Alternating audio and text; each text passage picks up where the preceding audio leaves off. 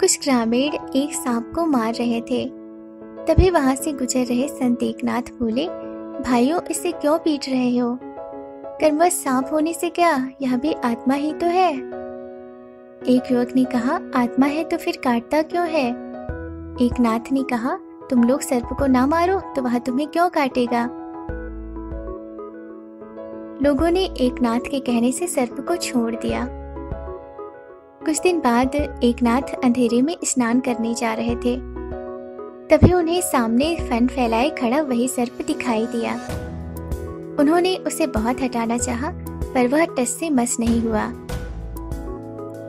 एक नाथ मुड़कर दूसरे घाट पर स्नान करने चले गए।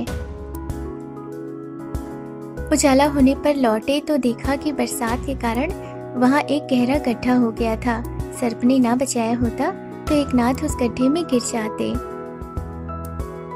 इस तरह उस सर्प ने अपने प्रति दयालुता का ऋण चुकाया।